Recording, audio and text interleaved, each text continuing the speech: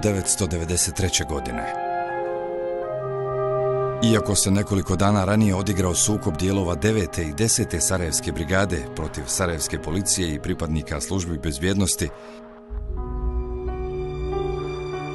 Iako je Sarajevo bilo u gotovo svakodnevnom vojno-humanitarnom haosu koji je sistematski vodio u beznađe, iako je najžešće opsjednuti evropski grad u modernoj historiji Evrope već imao takav crni bilans koji je uništio svako pravilo normalnog života, 7. juli 1993. godine bio je sasvim običan Sarajevski ratni dan.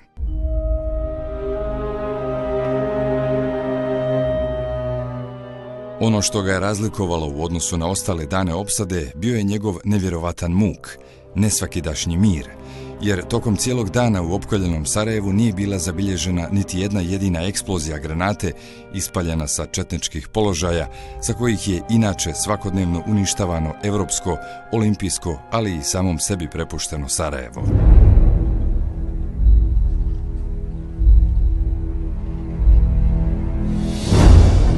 Takav neobičan gradski mir ostao je sve do 2 sata i 15 minuta posle podne, kada je u potpunoj tišini centralnog dijela Sarajeva odjednom odjeknula snažna eksplozija, od koje zanimljivo nikome, pa ni najbližim komšijama mjesta eksplozije, nisu popucala čak ni prozorska stakla. Snažna detonacija koja je praktično sa mjesta eksplozije stigla i do nas u kabinetu i pa što se pitali šta je to, gdje je pala četnička granata. Nikome u opkoljenom Sarajevu u tom trenutku nije palo na pamet da bi ta eksplozija mogla biti ono što će se tek 20 godina i 10 mjeseci kasnije nazvati pravim imenom. Atentat. Atentat.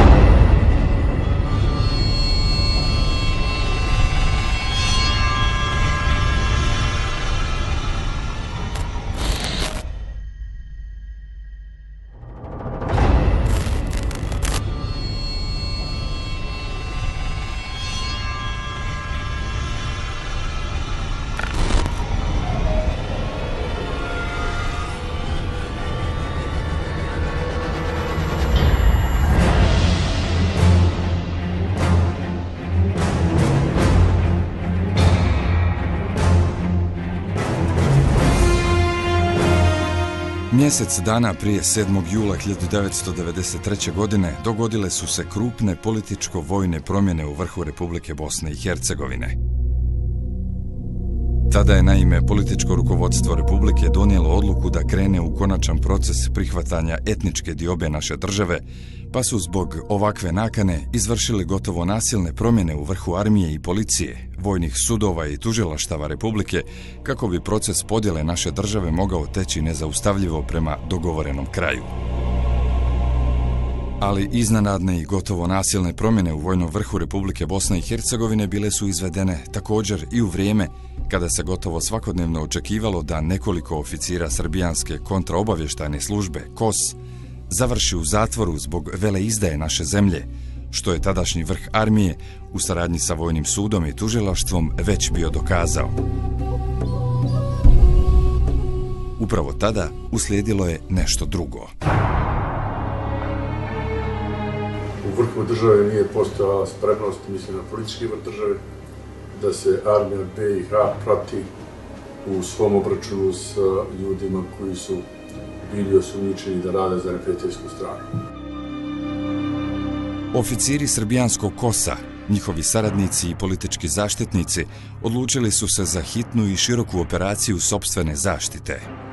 Njihova nakana istovremeno se podudarila sa vremenom kada su na ovaj ili na onaj način uklanjani ljudi koji su se usprotivili podjeli Republike, pa su svi ovi procesi rezultirali prvim, ali i najjačim napadom na ključnog čovjeka koji se usprotivio podjeli Republike sa jedne, te pokrenuo akciju hapšenja ubačenih srbijanskih špijuna sa druge strane. Komandanta Armije Republike Bosne i Hercegovine, generala Sefera Halilovića. A noć uoči smjene, ja sam se sa žuče vratio, svratio u kabinet kod predsjednika Izbjegovića da ga upoznam situaciju na, na ratištu i on me zadržao večer, ili smo neki vojnički grad i dugo smo pričali I on kaže, nikad nema vremena da se ispričamo, pričali o ženi, o djeci, ženama, o djeci, o običajima, o navikama, o različitom mentalitetu, hercegovaca, basanaca, krajišnika i tako. Ali da se to sve stapa zapravo da je da se to sve stapa jednu cedinu, da se miješa razliku od drugih naroda. Tako neke lagane teme, e, tako da sam ja nakon te večere, večere s njim i nakon tog dugog, dugog razgovora o potpuno banalnim temama, ovaj, ostalo sam da prespavam i ujutru da me e, dočeka odluka o svijetu. Bio je januar 1993. godine kada je delegacija Republike Bosne i Hercegovine otputovala na pregovore u Ženevu. Tada najmlađa Evropska republika istovremeno se borila protiv dva agresora, tri države i dvije paravojske, te pod takvim okolnostima ušla u svoju prvu tešku ratnu zimu koja je donijela nestašicu životnih potrebština sa jedne dok sa druge strane entuzijazam boraca za oslobađanjem Republike uprko svim teškoćama nije splašnjavao niti jednog jedinog trenutka.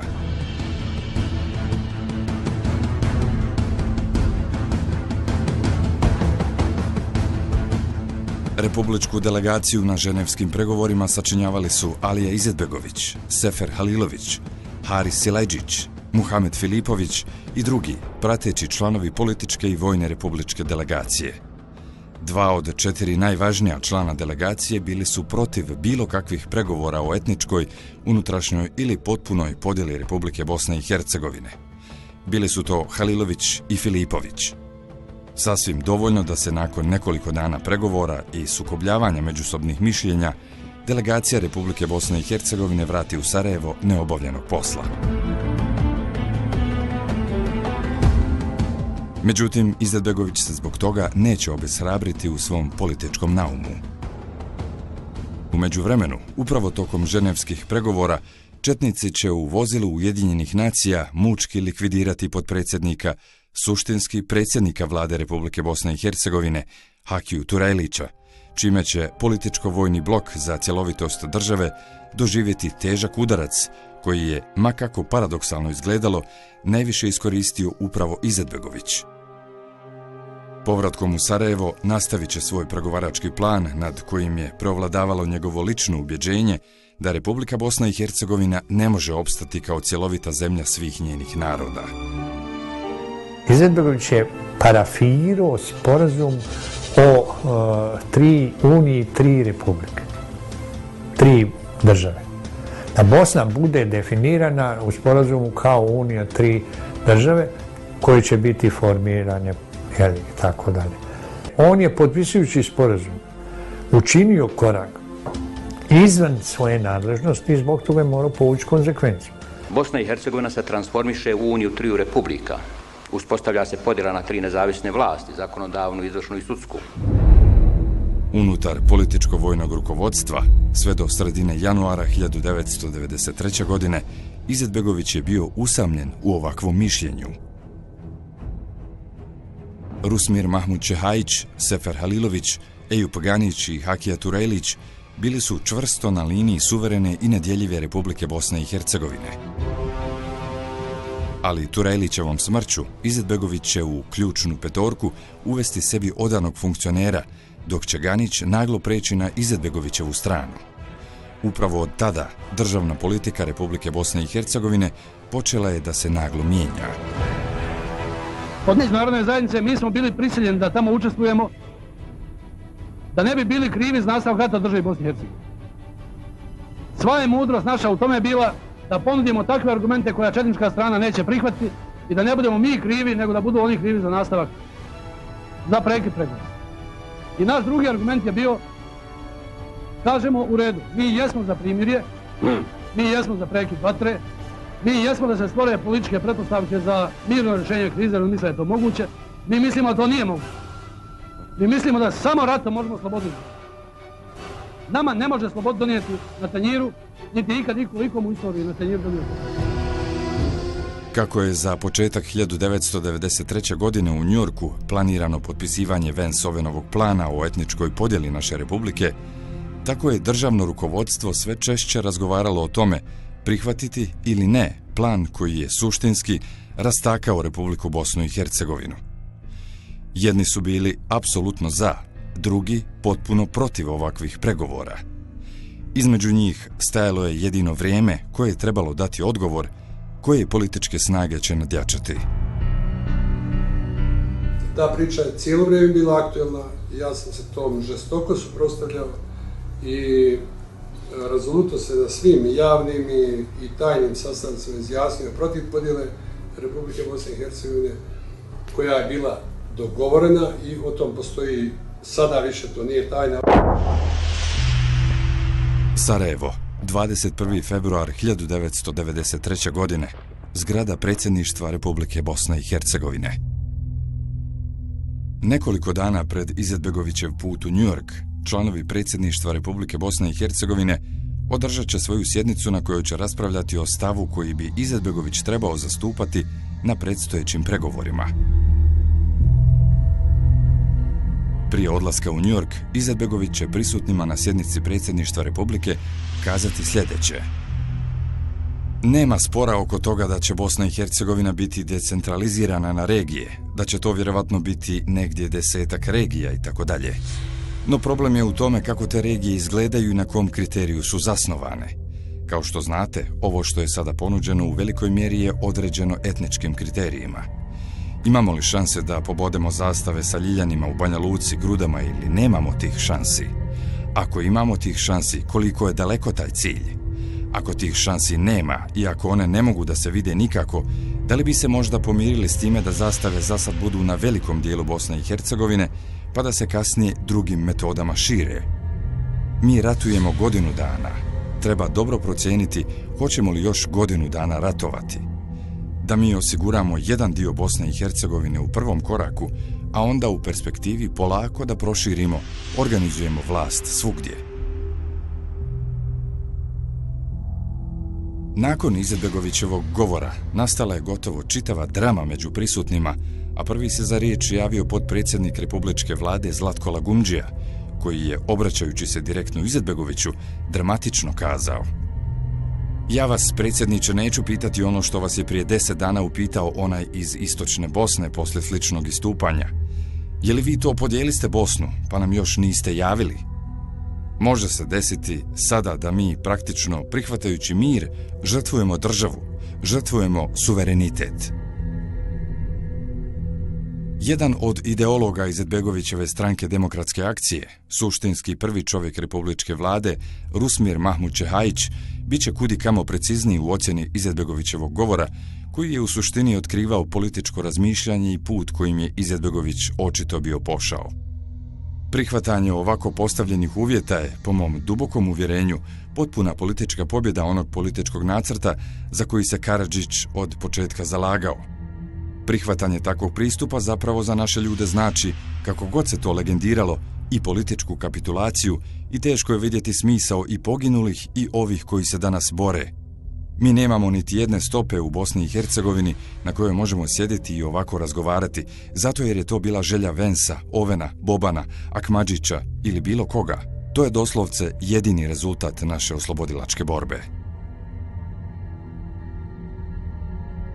Na samom kraju sjednice predsjedništva Republike za riječ se javio komandant BH armije Sefer Halilović. Upravo bi njegova podrška Izetbegoviću u ovim trenucima bila najvrijednija, ali je Izetbegović od početka znao da za proces etničke podjele naše zemlje na Halilovića neće moći računati. Svoj govor Halilović će odpočeti izuzetno žustro.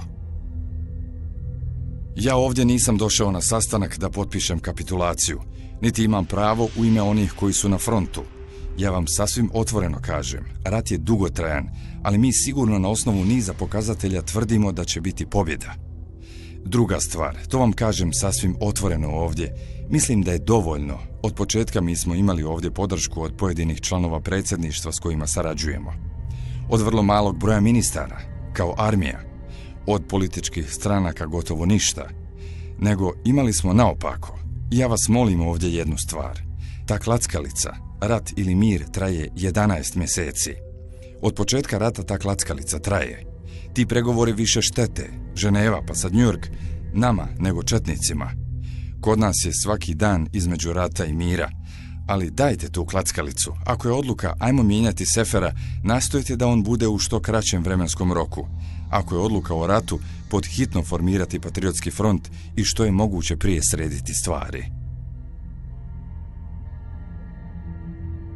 Iako se gotovo čitavo političko i vojno rukovodstvo naše republike usprotivilo prihvatanju Vensovenovog plana, Izetbegović će mimo njihove volje ipak otići u Njujork i potpisati njegovo prihvatanje, što će biti početna osnova buduće etničke podjele našeg republičkog teritorija. Izetbegovićevim stopama, ali sa velikim dobitkom za paradržavu Herceg Bosnu, krenut će i predsjednik bosansko-hercegovačkog HDZ-a Mate Boban. Ali Izetbegović je barem u dva navrata, a ja sam svjedok, nudio Tuđmanu podjelu Zašto je to činio, ja to ne znam.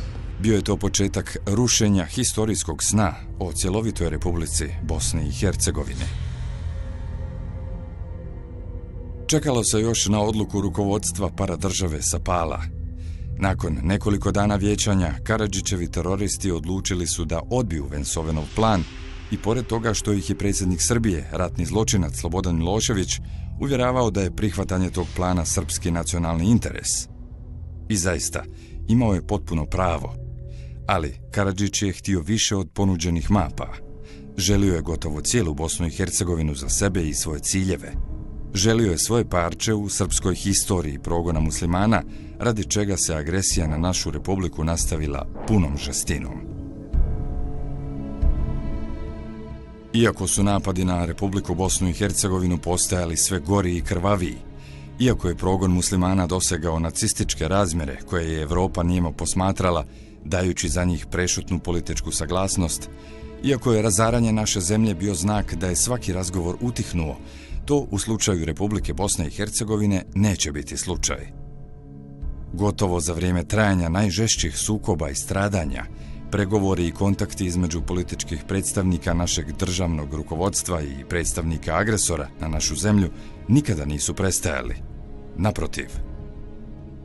Iako je Marta i aprila 1993. godine naša armija uspjela da odbrani Goražde, Srebrenicu i Žepu od napada sa istoka, odnosno Mostar, Jablanicu i Konjicu od agresije sa zapada, Izetbegović je odlučio da 24. aprila 1993. godine ponovo odputuje u Zagreb na pregovore sa hrvatskim predsjednikom Franjom Tuđmanom koji je u punom kapacitetu rukovodio agresijom na Republiku Bosnu i Hercegovinu sa zapada, dok je on u istočnu potpomagao uvođenjem fizičkog embarga našoj armiji.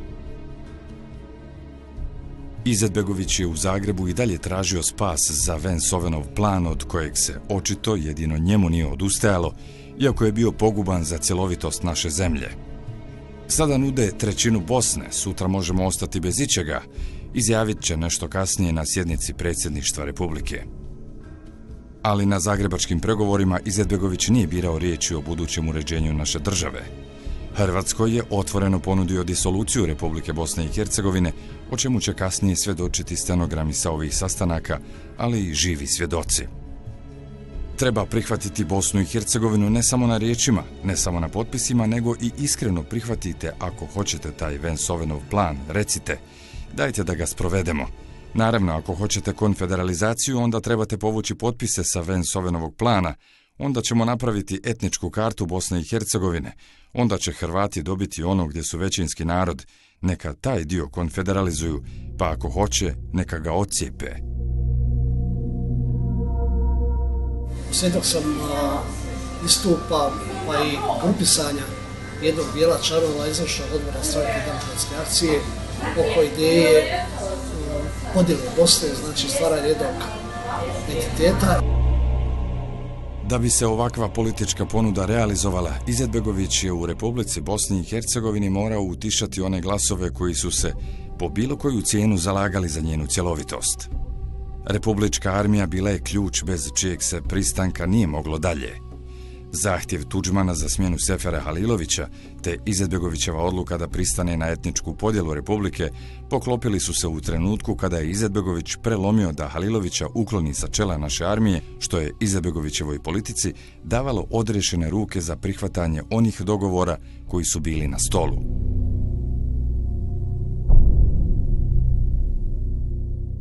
Međutim, upravo u vrijeme dok su trajale ove političke igre, krajem aprila 1993. godine, glavni vojni tužilac u Sarajevu, Mustafa Bisić, dostavit će Izetbegoviću, Haliloviću i Ganiću izuzetno povjerljiv materijal u kojem je između ostalog stajalo sljedeće. Početkom aprila mjeseca 1993. godine, kao okružni vojni tužilac, zaprimio sam krivičnu prijavu sa prilozima protiv prijavljenog Rekić Seada. Kada sam na osnovu izvršenog uvida u zaprimljeni materijal ustanovio da postoje indicije o umješanosti Muslimović Fikreta, kao i nekih komandanata i jedinica oruženih snaga Republike Bosne i Hercegovine u nezakonite radnje, to jest o saradnji sa agresorom, odlučio sam da u skladu sa svojim zakonskim ovlaštenjima o istom obavijestim državno rukovodstvo. S tim u vezi sačinio sam informaciju veličine 5 do 8 stranica u kojoj smo Senat Kreho i ja ukratko obradili dokaze vezane za Fikreta Muslimovića, zatim obaranje mosta u Bosanskom Šamcu, zatim ubistvo Fadila Đoze, kao i druge radnje vezane za Igmani i slične stvari.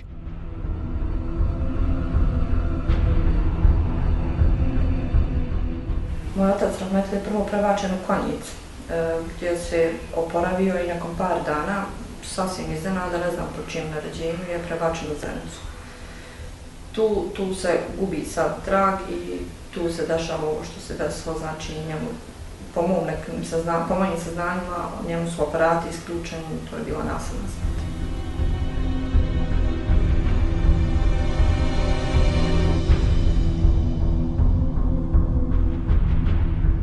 Bili su to veliki razlozi koji su Izetbegovića, upravo njega, pokrenuli da svoje namjere o krupnim promjenama u našoj armiji provede po hitnom postupku, kako bi na zaprepaštenje boraca i organizatora otpora u našoj republici zaštitio srbijanskog špijuna Fikreta Muslimovića.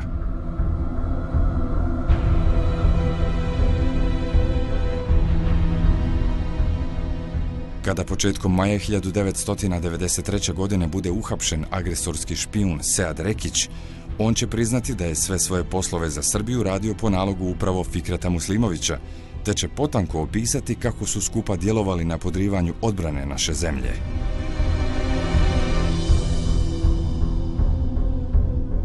Ubijstva na Igmanu, uništavanje operacije deblokade Sarajeva, urušavanje pokreta otpora, sprečavanje naoružavanja Patriotske lige, zarušavanje pojedinih mostova, pokušaj hapšenja pokretača otpora, razbijanje specijalne jedinice MUPA, davanje povoda za napad na Mostar, bili su zadaci na kojima su Muslimović i Rekić radili zdušno.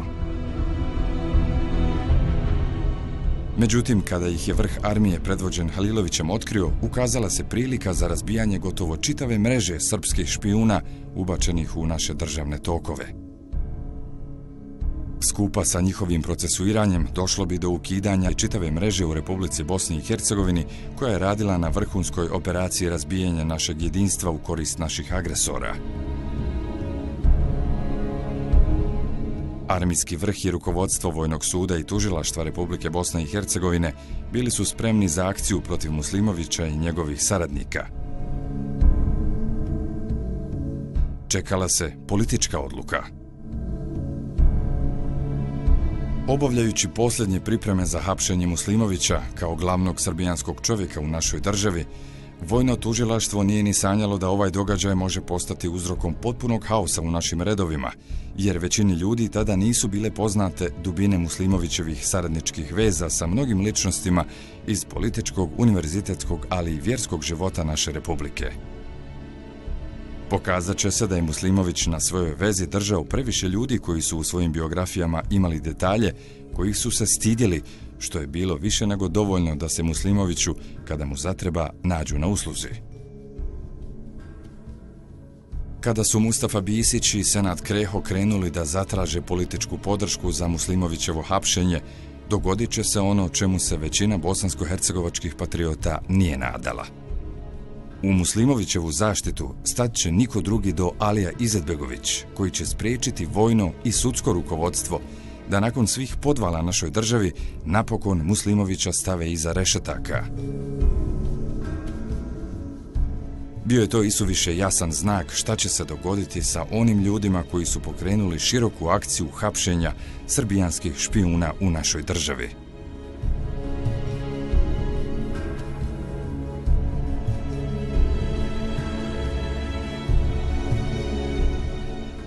Znam da smo mi u pokušaju da natiramo, da država procesuira jednu vrstu realnih osnova izdaje, objavili taj tekst u listu AS. Kada smo objavili taj tekst sa svim dokumentacijama i argumentima, pod naslovom Zaklade se ptice kosu, onda je uslijedilo moje hapšenje i hapšenje gospodina Džemala Đakmića, koji je tada bio glavni odgovorni urednik, ASA i još nekoliko ljudi, umjesto da se politički vrh obračunava sa izdajnicima, krenuo obračun sa vrhom armije BH. Izetbegović je požurio da što prije smijeni Halilovića, znajući da će tim potezom oslabiti odbranu naše države sa jedne, ali će sa druge strane zaštititi svog prijatelja Fikreta Muslimovića, nastaviti proces etničke podjele Republike, te na kraju učiniti uslugu Franji Tuđmanu, koji je izričito zahtijevao Halilovićevo uklanjanje sa čela armije, što je ostao možda po najbolji dokaz Halilovićevog patriotizma. Razme, kako ti radi? Dobro, kako ti, gospodine predsjednik? Evo, dobro. Če, gdje to ti sada? Ja sam ovdje kod svog rođaka u Tuzli. Aha, jesi, jesi, jesi bio dobio moju poruku da dođeš ovdje? O, dobio sam od Bakira bio i rekao sam da vam prenese da sam, onda sam zvao Halila. Da. I on je dao nalog da dođemo ovamo, da prekontrolišemo ovdje situaciju. Ovaj, kad se vraćaš natrag? Evo ovako, ja u četvrtak ujutru krećem nazad. A moraš li prije? Mogu u srijedu, recimo, sutra je Bajram i želio bi da budem u Brčkom i u Čeliću. Dobro, onda moraš li u srijedu krenuti? U srijedu mogu krenuti. Moraš li doći ovamo? Ne znam kakva je organizacija da Vi znate kako ide ovaj to sada. Ne znam da li bi Bakir mogao bezbijeti recimo onaj prelazak tamo.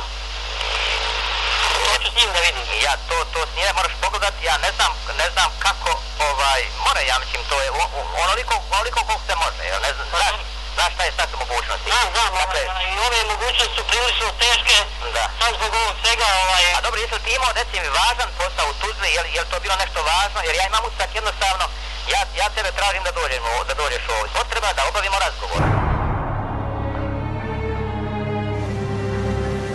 Tako je došao 8. juni 1993. godine. Halilović je tog dana hitro smijenjen sa mjesta prvog čovjeka odbrane naše republike. Koliko se Izetbegoviću žurilo da realizuje svoju nakanu, svjedoči i činjenica da je na protiv ustava način izglasao Halilovićevu smjenu. Dato mi u nekoliko minuta da da svoje mišljenje, rekao sam da da to nije rešenje s obzirom na situaciju da se maj, juni 1993. vodilo odlučujuće borbe za odbranu Bosne i Hercegovine.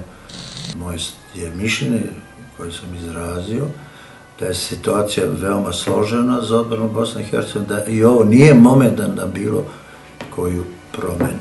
Naime, na sjednici predsjedništva Republike nije bilo dovoljnog broja glasova za Halilovićevu smjenu, koji su po ustavu bili neophodni. Međutim, Izetbegović će dovesti bilo koje ljude kako bi stvorio privid većine u sali za sastanke. Tako je, na primjer, dozvoljeno glasanje Abdullahu Konjici, koji nikada nije bio član predsjedništva Republike, već predsjednik Fantomskog vijeća građana, koje je bilo daleko od bilo kakvog prava odlučivanja. Ali to neće biti sve. Izetbegović će toga dana uspostaviti i novu nepostojeću funkciju takozvanog komandanta glavnog armijskog štaba, što je također bila protivustavna kategorija na koju će imenovati potpuno anonimnog Rasima Delića. Ko je ovaj gospodin u šarenoj uniformi? Upitaće član predsjedništva Republike Miro Lasić, nakon što je u sali za sastanke ugledao Rasima Delića. Naravno, u prolazu e, sam članovima predsjedništva i gospođi Tatjani Ljujić i gospodinu Pejanović rekao da ovo, ovo nije dobro. Znači da ne treba ovog momenta, znači početkom juna, ne treba vršiti bilo kakve izmene, jer se zaista vodila od, odlučujuća borba i za Sarajevo, za Srebrnicu, Goražde. Izetbegovića će na nezakonitost njegovih odluka upozoriti šef pravne armijske službe dr. Mušir Brkić, ali i drugi članovi predsjedništva Republike. Međutim, Izetbegović nije mario za zakonitost, već za sprovodivost svojih nakana. Spašavanje Muslimovića nije moglo čekati pravnu regulativu. Isti dan kada i Halilović, smijenjen je i ministar unutrašnjih poslova Republike Jusuf Pušina, ali i šef Sarajevskog sektora službe državne bezbjednosti Munir Alibabić. Muslimović je spašen.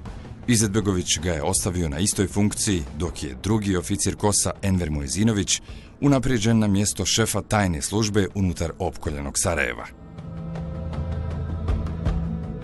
Rasim Delić, tek marioneta u rukama Muslimovića, prekasno će shvatiti da je postao dio njihove igre, ali nikada i dio tima. Tu ljubav Delić će platiti haškom zatvorskom kaznom, nakon koje će uvidjeti da je 8. juni 1993. godine bio prvi dan njegovog kraja, iako su mu drugačije govorili. General je imao puno povjerenje u službu i narod što je cijenio Fikrata Muslimovića.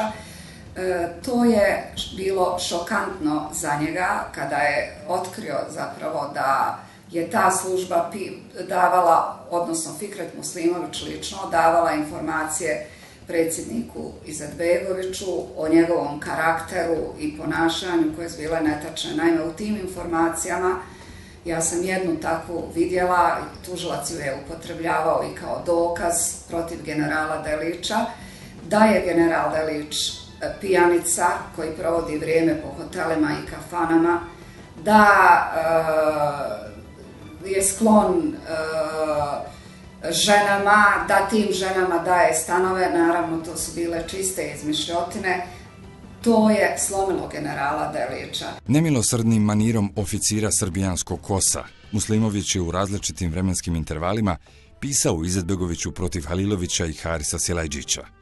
Haliloviću protiv Delića i desetine drugih armijskih oficira, ali i BH političara, da bi od 8. juna 1993. godine Muslimović otpočeo i pisanje Deliću protiv Halilovića i drugog niza armijskih komandanata. Dva dana, zapravo dva dana prije spremne Fikret Muslimović je došao sa a, jednim pismom a, gdje je govorio Rasko Delića na kao alkoholičaru pijenici koji pije, lumpuje po o, zabavlja se sa lakim ženama po visokom, ovaj, koji je svoje porodici dodijelio stanove i da bi se to trebalo pod hitno sankcionisati, da je svog sina ovaj, izvuko koji je bio zarobljeništvu u, u Doboj, otišao je za 2. maj 1992. godine da slavi rođendan, tamo je ostao i preko, naravno, preko generala, srpske vojske generala, ja mislim, Stankovića, da, je izbu, da ga je Delić izvukao prebacio na novu teritoriju, da je na takav način zamijenio brata. I to je nekoliko, nekoliko stranica teksta bilo na najružniji način od Delić upisao. I moje prvo pitanje Muslimović bilo zašto to ranije nije, nije govorio, nego sad. Ovaj, on je pokušavao da se vadi da je tek sad prikupio podatke, mada će mi neko dana kasnije biti jasno da je on znao za smjenu, da je e, Izetbegović e, njemu to rekao kao svom najvjernijem, naj, kao svom najodanijem saradniku i da je htio da izbaci Delića iz igre da bi on ovaj, ušao u taj prostor. Ono e, što smo mi zaključili jeste da je naravno ta služba imala nekakav svoj interes, sticao se interes da je bilo upita, da je bil, sti, sti, naime, sticao se utisak da je bilo u pitanju interes službe da na mjesto komandanta armije ne dođe ni Rasim Delić, nego vjerovatno neko njihov ili njima odan. U želje da se nametne kao najinformisani, najinformisani e, čovjek koji puno toga zna, da mi ne znamo, Simović je prema onog kako se ponašao i delovao, i iskazivo je negdje svoj interes od Muslimovića, bila želja da on bude komandant. Bez ikakve sumnje bilo je to svjesno izazivanje haosa unutar vrha Republike Bosne i Hercegovine. što će za krajnji rezultat imati historijske poraze naše države i krvnu svađu ondašnjih i današnjih političko-vojnih ličnosti koja traje duže od 20 godina i koja je otišla predaleko, do krvi. Možda najbolji svjedok Muslimovićevog licemjerja jeste upravo 8. juni 1993. godine, dan u kojem je Muslimović na četiri različite strane uspio odaslati četiri potpuno različita mišljenja o Seferu Haliloviću. Za vrijeme trajanja kolegija armijskog vrha, Muslimović je članovima armijske komande kazao sljedeće. U ovom trenutku sve je markirano ličnosti gospodina Halilovića. Dao je najveći doprinos kao pojedinac. To treba da ostane zapisano u historiji.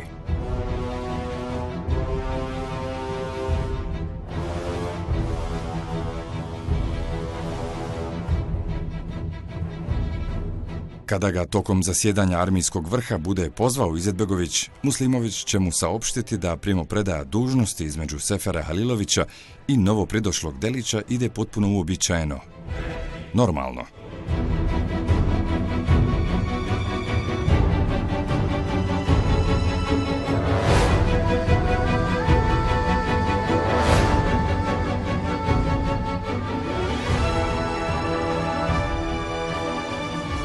Međutim, dok je Muslimović govorio jedno, sa druge strane pisao je nešto sasvim drugo.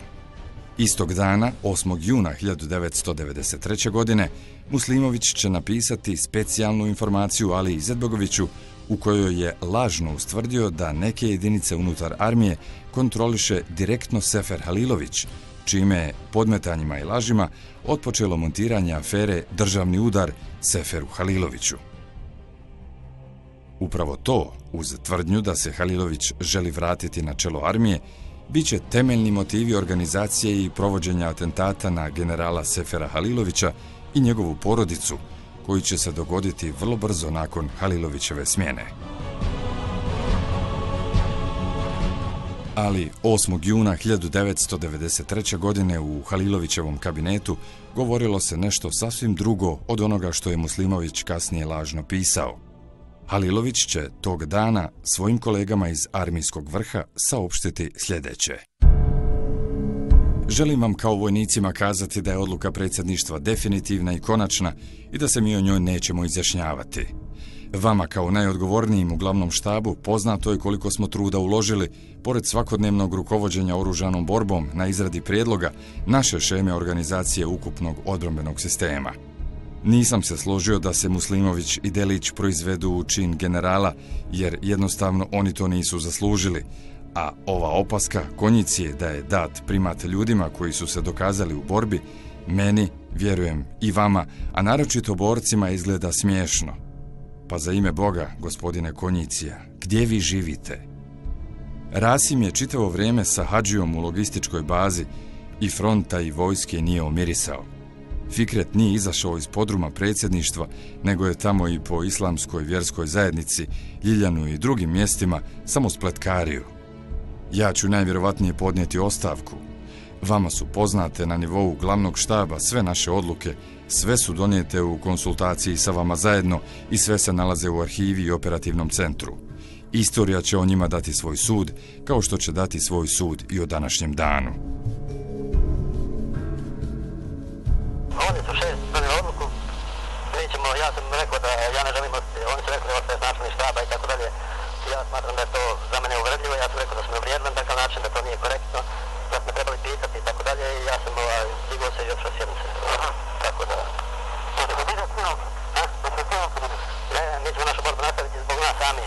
Neka oni snose posledice odluke koje ja u to ne ulazim. U tog momenta bile su reakcije delova štaba u tome da će napustiti štab, da je ovo protipatriotske patriotske protipatriota.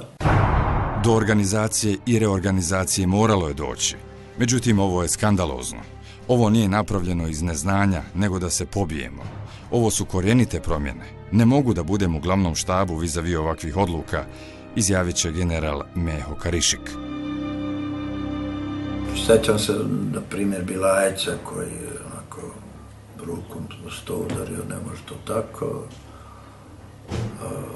mislim da je izičro, jednostavno podržao reakciju Sefera, da je to jednostavno napad na onu osnovu sa koje je krenula Patriotska liga. General Rifat Bilajac će kazati da u ovoj situaciji koja se desila glavni čovjek među nama postaje četvrti, dok će zamjenik komandanta prvog korpusa general Vahid Karavelić reći kako ga je strah da ovakva odluka predsjedništva Republike usložnjava situaciju u našoj državi. Karavelić će zaključiti i to kako je ovo direktan udar na Patriotsku ligu. Karavelićev komandant general Mustafa Hajrulahović Talijan bio je također razočaran odlukom predsjedništva Republike. Nijedna odluka ovog kolegija na predsjedništvu nije usvojena. Trenutno nisam sposoban da racionalno razmišljam. Nemam ništa protiv Rasima Delića, ali u ovom trenutku se ne slažem s tim. Dugogodišnji funkcioner i jedan od načelnika unutar glavnog armijskog štaba, Ivan Brigić, održat će potpuno dramatičan govor. Današnja odluka predsjedništva neće doprinijeti uspješnjoj borbi protiv agresora. Ovaj potez je bio sračunat.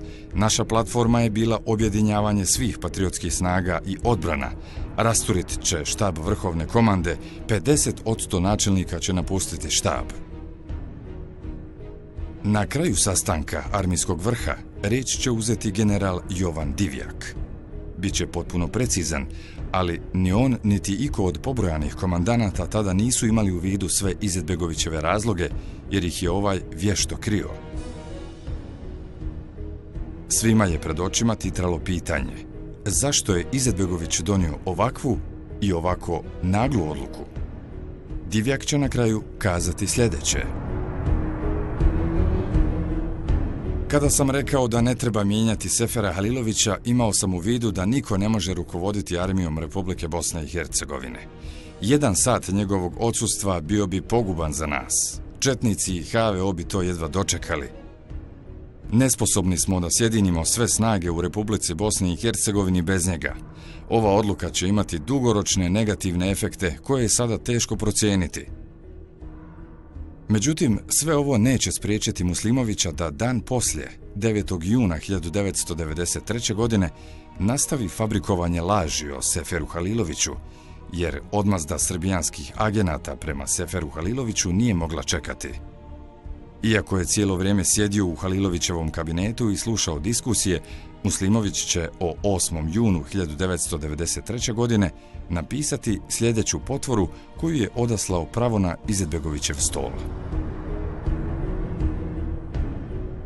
Značajna su i saznanja da je Sefer Halilović 8. juna 1993. godine održao sastanak sa Ramizom Delalićem Čelom i komandnim kadrom jedinice Delta, koji su tom prilikom željeli izvršiti napad na predsjedništvo Republike Bosne i Hercegovine i zarobljavanje nekih članova predsjedništva.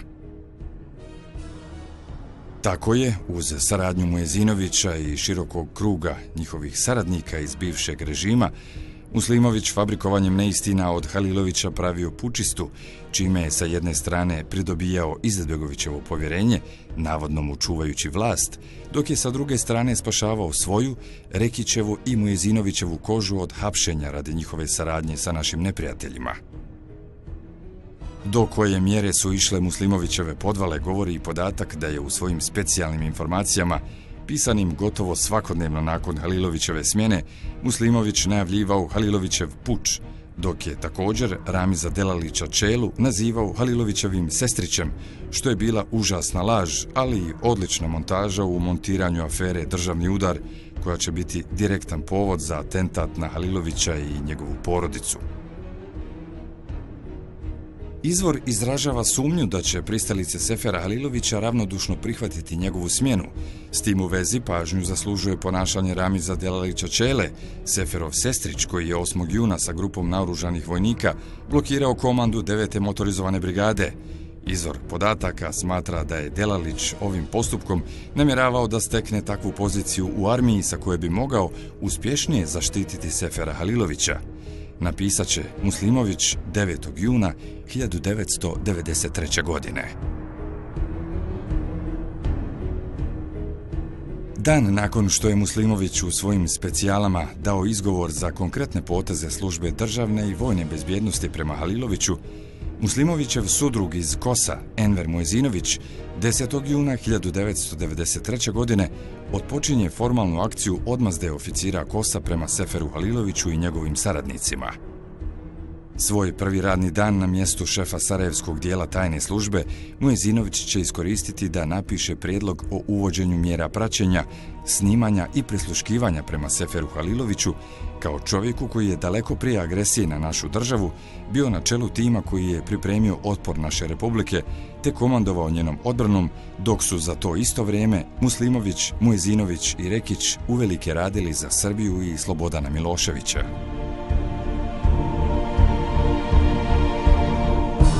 Jer on je meni radio u slučaju ovaj špegelja, on je bio u timu kad smo hapsili, kad smo saslušavali uh, e, ove pohapšene i ja sam tada biro najbolje, najvisprenije organe bezbednosti za taj delikatan posao.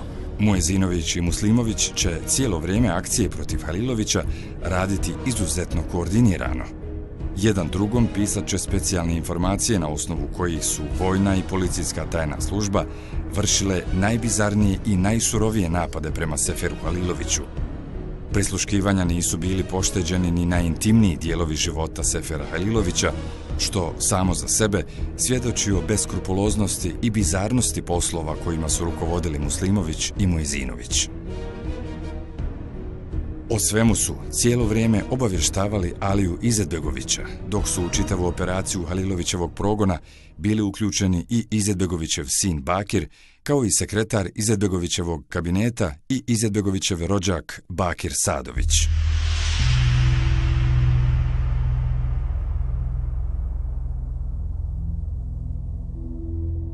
Tako će 10. juna 1993. godine Muezinović, Nedžad Ugljen i Bakir Ali Spahić potpisati dokumente u kojima su Sefera Halilovića kao osnivača i komandanta BH vojske lažno proglasili državnim neprijateljem broj 1 i otvoriti mu dosije koji će na kraju biti veći od dosija tajne službe o zločincima Ratku Mladiću i Radovanu Karadžiću. Ovi špijuni su Haliloviću, podmećući mu neistine i potvore, napisali sljedeće. Analizirajući saznanja dobijena operativnim putem, služba državne bezbjednosti MUPA Republike Bosne i Hercegovine i služba vojne bezbjednosti Armije Bosne i Hercegovine su došle do ocjene da Sefer Halilović, načelnik štaba Vrhovne komande Oružani snaga Republike Bosne i Hercegovine, ima pučističke namjere sa elementima izvođenja državnog udara – Sefer Halilović drži na vezi Ramiza Delalića Čelu, Mušana Topalovića Cacu, Zulfikara Ališpagu Zuku, Hasu Hakalovića Ediba Šarića, Gardijsku brigadu Delta i mnoge druge komandante koji su skloni podržavati njegovu političku orijentaciju. Nikada u životu e, nije govora o tome bilo. Govora o tome nije bilo. Spominje se tu i Kovačević, i možda nekoliko još komadanata tijelo, a govora nikada nije bilo o državnom udaru. Jer nama nije trebao tada državni udar. Nama je trebala država Bosna i Hercegovina, a državni udar da pravimo u njoj, to sami sebe ubijamo. To je toliko više postalo i ogavno i tragikomično pitanje. Ja ne znam, a to je scenarij ono Muslimovića i Kosovaca, mislim, glupost. Godinu dana sam stao predrat, organizovao se organizaciju u zelenim peretkama, Sefer je bio vam organizovao svoju patriotsku ligu koju je bio tada u vlast. I da mi budemo, da mi organizujemo nešto, da, da on organizuje neki udar, evo, zašto? Kome? Ma dajte da smiješ. Na ovaj način Haliloviću je bila nacrtana meta na glavi. U čitavoj akciji podmetanja laži generalu Haliloviću učestovati će i Munir Alibabić zvani Munja, koji će biti slijepi izvođač prljavih poslova za Izetbegovića, sve do trenutka kada ga se Izetbegović odlučio otarasiti i isluženog otpustiti iz službe bezbjednosti.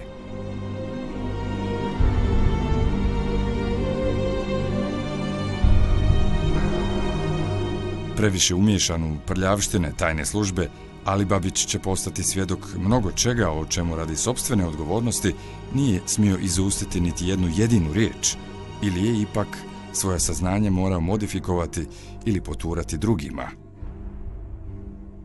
Dok se bosansko-hercegovačka armija nakon dovođenja Delića na njeno čelo našla u potpunom komandnom rasulu, dok su poznati bosansko-hercegovački komandanti ginuli gotovo svakodnevno, čime je naša borba svakodnevno slabila, dok je Srbija svakodnevno otimala dijelove naše državne teritorije od istočne Bosne pa sve do padina Sarajeva, za to isto vrijeme Muslimović, Mujezinović, Ugljen, Ali Spahić i Jusuf Jašarević radit će punom parom na razbijanju jedinstva bosansko-hercegovačke armije, te stvaranju međusobnih sukoba, što će ostaviti najdublje posljedice na podjele u bosansko-hercegovačkom društvu od ratnih vremena pa sve do danas.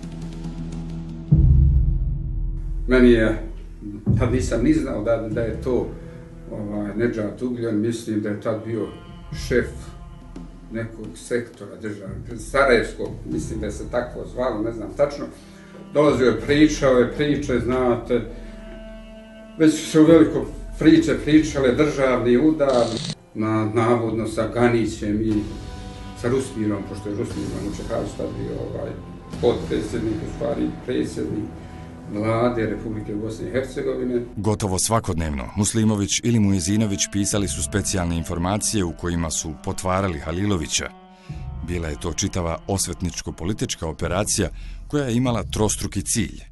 Da spase oficire Kosa od hapšenja, uklone Halilovića kao prepreku etničkoj podjeli Republike Bosne i Hercegovine, te na kraju, fabrikovanjem neistina od Halilovića napravi pučistu, čime bi dobili povod za njegovu likvidaciju, Iako neovlašten za taj posao, iako u strukturi policije, Enver Mujezinović će odmah nakon postavljanja na mjesto šefa Sarajevske službe državne bezbjednosti pismeno zatražiti smjenu vodećih ljudi Vojnog suda i tužilaštva Senada Krehe i Mustafe Bisića, koji su vodili slučaj Rekić. Umjesto tužioca Bisića, na njegovo mjesto predložit će Ismeta Mehića, koji je sa Rekićem sarađivao u Kosu, dok će Krehu pozvati na prijeteći razgovor. Tako će 12. juna 1993. godine Izetbegovićeve službe državne i vojne bezbjednosti načiniti plan koji će biti razrađen u 14 tačaka. Bio je to korak ka stvaranju bratoubilačkih sukoba unutar opkoljenog Sarajeva. Muslimović je radi ubijstva srpskog svata na Baščarši predložio hitno hapšenje Ramiza Delalića Čele, znajući da Delalićev uticaj u 9. motorizovanoj brigadi nije uopšte zanemariv. Ugljan je dobio zadatak da iz Halilovićevog kabineta odstrani Halilovićevog šefa obezbeđenja Mithata Aljića, kojeg će na razne vrste ponuda pozivati dvojica Izetbegovića, Alija i Bakir. Tadašnji najburejs Mustafa Efendija Cerić dobio je zadatak da obavi razgovor sa Mušanom Topalovićem Cacom i pozove ga na poštivanje reda, dok je Bakir Izetbegović određen da porazgovara sa komandantom jedinice Delta Dinom Aljićem, kojem je Izetbegović inače bio vjenčani kum. Sve do kraja juna 1993. godine režimske službe vojne i državne bezbjednosti svjesno će praviti atmosferu mogućeg sukoba unutar opkoljenog Sarajeva. Muslimović i Mujezinović radit će na nekoliko špijunskih kolosijeka. S jedne strane, pisat će na desetine specijalnih informacija prepunih potvora i laži, na taj način stvarajući psihološki pritisak u glavi Alije Izetbegovića, dok će, sa druge strane, svjesno puštati glasine kako će uskoro doći do oružanog sukoba unutar opkoljenog Sarajeva i činit će sve da do tog sukoba, izazivanjem niza provokacija i incidenata, zaista i dođe. kada je za 20 dana uradio kompletnu obavještajnu pripremu organizovanja unutrašnjeg haosa, kada je prema Delaliću pustio informaciju da će biti uhapšen, Muslimović krajem juna 1993. godine naređuje oficiru vojne bezbjednosti Nijazu Graciću da uhapsi bilo kojeg od prvih saradnika Mušana Topalovića Cace, Senada Pecara ili Senada Hasića, što svjedoči u prilog notornoj činjenici da je Muslimoviću trebala provokacija, a ne neko određen radi neke pogreške. Taj dan kad se to dogodilo, ovaj, e, ja sam saznao da je Fikret Muslimović E, naredio jednom operativcu iz službe vojne bezbjednosti da uhapsi ili Senada Hasija, Senada Pecana koji prije uhvati, da bi isprovocirao ovaj, Muša Antopalovića Cacu na reakciju, jer je znala prilike kako će ova reagovati, a da bi ovaj kasnije ovaj, u tu priču uveo radne za delovanje sjećenu i da bi mene na kraju prikazali kao pokušaj puča. Prvo je lociran Pecar.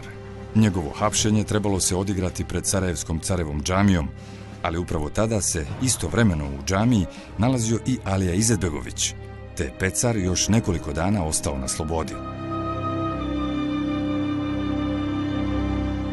U tom periodu Delaliću je dostavljena podvaljena informacija da će uskoro biti uhapšen, nakon čega Delalić odlazi kod Muslimovića u kancelariju, gdje ga je izvrijeđao i dodatno, kako Muslimović tvrdi, pljunuo. Nedostajala mu je još samo Topalovićeva, što gora, to za Muslimovića bolja reakcija. U tome je došao i 2. juli 1993. godine.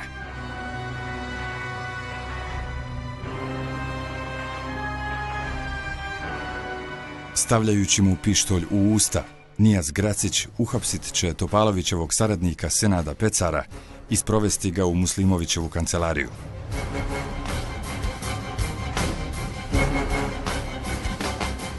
Bio je to okidač koji je Topalovića potpuno podigao na noge.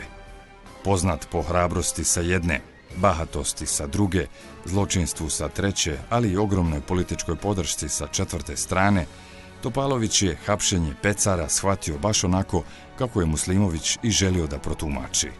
I su više lično. Blokirao je lijevu obalu rijeke Miljacke i otpočeo hapšenja pripadnika vojne bezbjednosti, civilne policije, ali i bilo kojeg pripadnika armije za kojeg mu se učinilo da je, kako se tada običavalo kazati, za formalne vojnike maneken.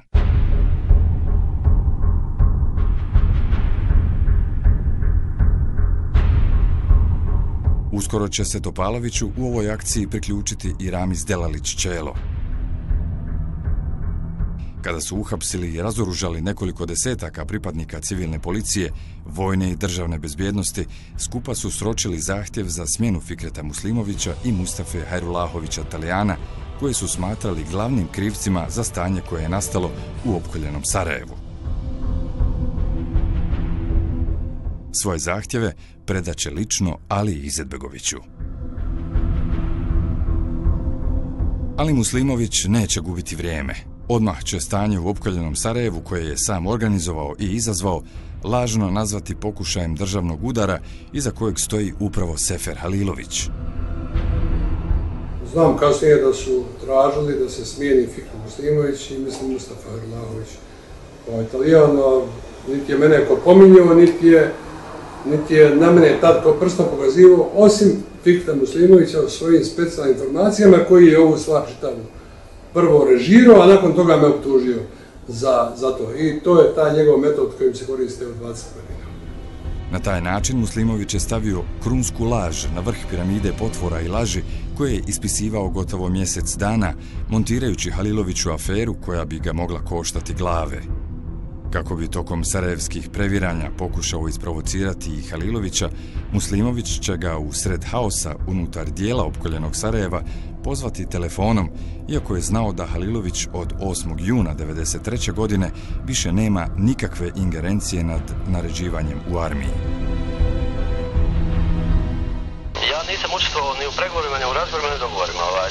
Ja ne znam čak ni šta je dogovoreno. Ovaj. Tako da ja mogu pokušati, ali da pravo kažem, iz, iz nekih centara moći ovdje u gradu se već pruž, pružaju informacije, odnosno dezinformacije, da sam, da iza svega toga ja stojim i vis-a-vis toga ja u to neću se miješati.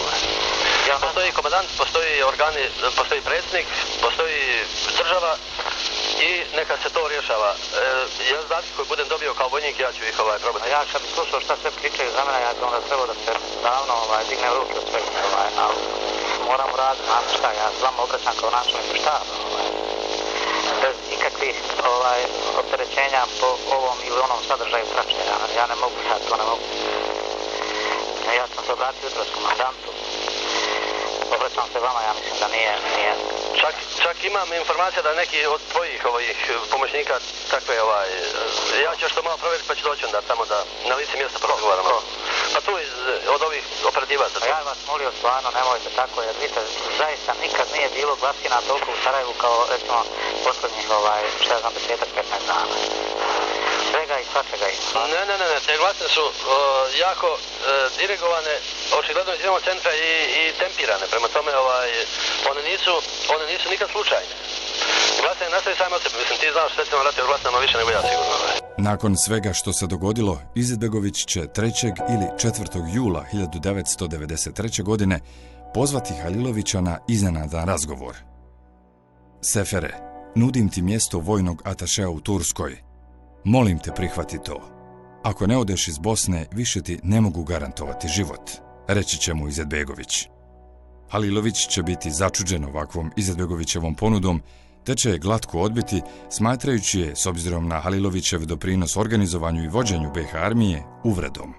Sve do negdje početka jula, kad me je Izetbegović pozvao i pitao me da li bi ja išao za vojnog atešea u Istanbul ili ambasador u Makedoniji.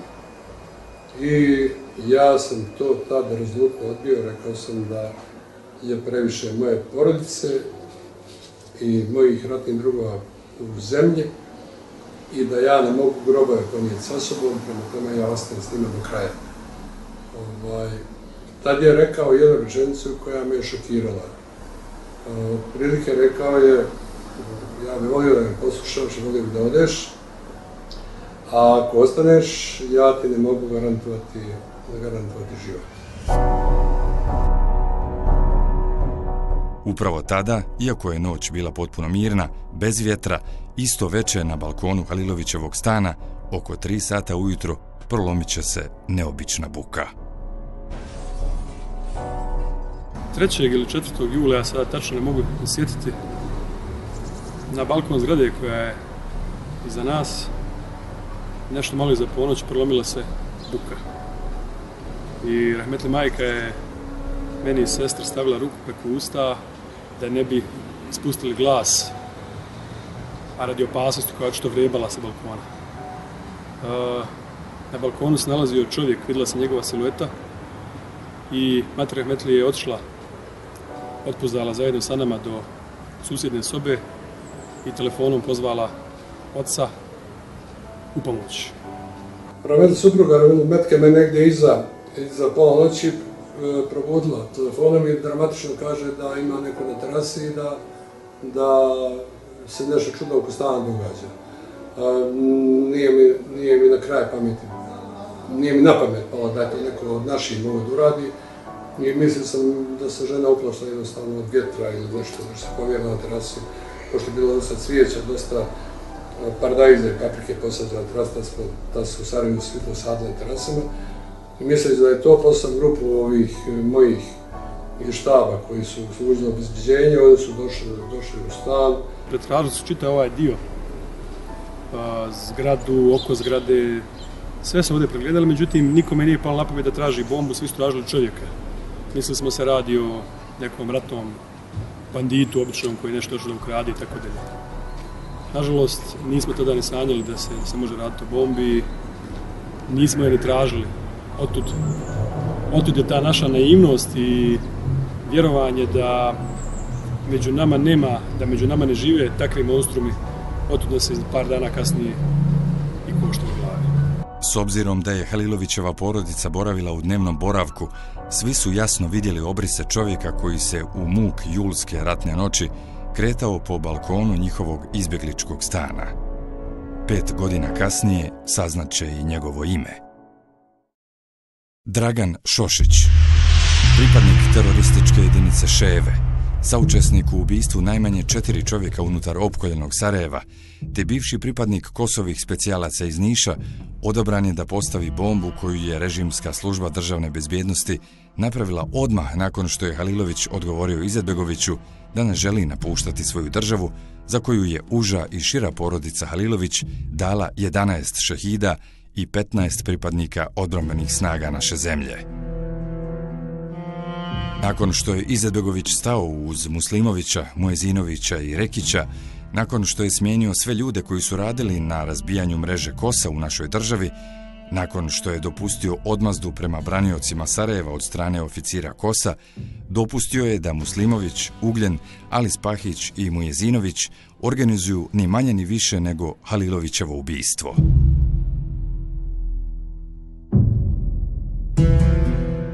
5.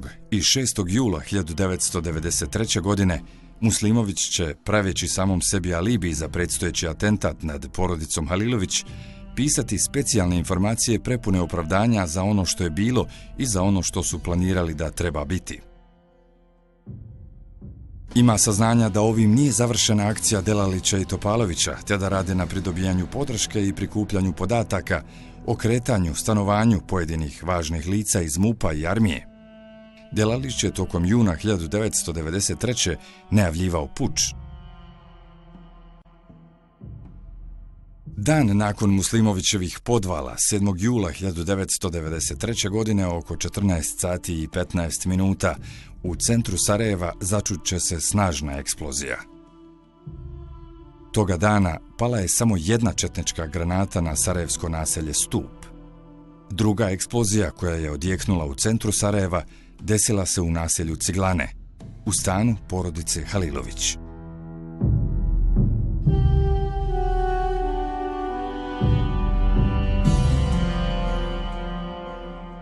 7. jula 1993. godine moj otac Sefer Halilović je najavio svoj dolazak kući. I mi smo taj dan spremali e, neki ratni ručak, sjećam se su bili neki sandvičići sandvič sa ikar konzervama. I ja sam ga to jutro više puta pozvao telefonom da provjerim da li sigurno dolazi, jer se moglo desiti, dešavalo se da otkaže se dolazak radi, radi jednostavna situacija na ratištu koja je svaki dan bila nepredvidiva i vrlo žestoka. Gospodin Halilović je trebao da krene kući i neka hitna situacija je pardon, uzrokovala da se on zadržao u kabinetu. Ja sam bio na terenu, obilazio sam ova, jedinice i vratio sam se svratiti do kancelarije samo da skinem čizme i obujem cipele jer mi je lakše um, ljeto je, jul je mjesec, lakše mi je u cipelama hodat. Mi smo jednostavno iščekivali taj dolazak u svakih nekoliko minuta nakon dva sata, a neposredno prije, prije dva sata došla je voda, došla je cisterna sa vodom ispred naše zgrade i svi smo mi izašli, mi iz stana, naša porodica i naše sve komšije smo izašli da natočimo vodu u kanistere, bura i tako dalje. I to smo radili vrlo, vrlo brzo, jer su tada, tada u ratu ta okupljanja bila rizična za, za masakre. Čim smo se vratili u kuću, nije prošlo nekoliko minuta, rasporedili smo ovaj, posude sa vodom i mati Rahmetli je sa Dejđom. Rahmetli izašla na balkon stana i nije prošlo ni minuta, dvije, ja sam se nalazio u svojoj sobi, začula se uh, eksplozija, ali mutla eksplozija. Nije bilo uh, ljuljanja tla, nije bilo detonacije praskave koja inače bude kod granate, jednostavno kao da je neki e, uh, nevjerovatno brz vjetar uh, prošao kroz kuću i, i, i porušio sve što je što mu se našlo na, na putu. Nakon toga se čula snažna detonacija koja je praktično sa mjesta eksplozije stigla ili do nas u kabinetu i baš smo se pitali šta je to. Čuli smo jednu jaku eksploziju negdje iz pravca predsjedništva sa, sa te strane. A inače, taj dan bio miran, sad je nije bilo nikad nikakvih eksplozija. To je bila jedina i najveća sam na televiziji čuo od Senada Hadžifejzovića koji je rekao da je, je samo jedna granata jedna eksplozija bila na stupu, jedan ciglanova i da su razle dvije civilne osobe. Čak nije, nije se udostojio da kaže koje su dvije civilne osobe. 21 godinu kasnije saznaće se i stručno potvrditi ono što se znalo istoga dana. Pokušano je Halilovićevo ubijstvo kao i ubijstvo svih članova njegove porodice – Mediha Halilović i Edin Rondić bit će ubijeni od posljedica djelovanja podmetnute eksplozivne naprave na balkonu stana porodice Halilović. Mi smo krenuli gore, mislim ja besim, Da li je Faro bio, ne, ne znam, da ne mogu, ja ne, ne mogu tvrditi. Otišli smo, ušli smo u stan, sve je to bilo puno prašine i na onom dijelu tamo, dakle unutrašnjem dijelu balkona, odnosno zida od sobe, vidjeli su se geleri, vidjeli se... Mi smo otišli tamo na lice mjesta, zatekli smo jednu haotičnu situaciju kao poslije svake eksplozije, stan je bio potpuno razrušen. Ono što je u ljudskom smislu je bilo vrlo dramatično, da sam i ja i ne znam još nekoliko tih momaka učestvali u skupljenju dijelova tijela. Djeca su srećom preživjela jer su se, prema tadašnjih informacija, nalazili na suprotnom krilu zgrade. Onda je Aziz Ravondić Rahmetli, on je preselio posle rata, u jednom trenutku uzviknuo braćo evo Dine, da smo mi svi krenuli prema uh, balkonu. Znao sam da sad i ona tu negdje mora biti. Dok Aziz opet Rahmetli nije uzviknuo eno ime Dihe, i tada sam eh, Rahmetli majku vidio na travnjaku ispred, ispred stana kako, kako leži. E, I to je bio zadnji prizor koji sam kada je ona u pitanju vidio u životu i tako smo se rastali.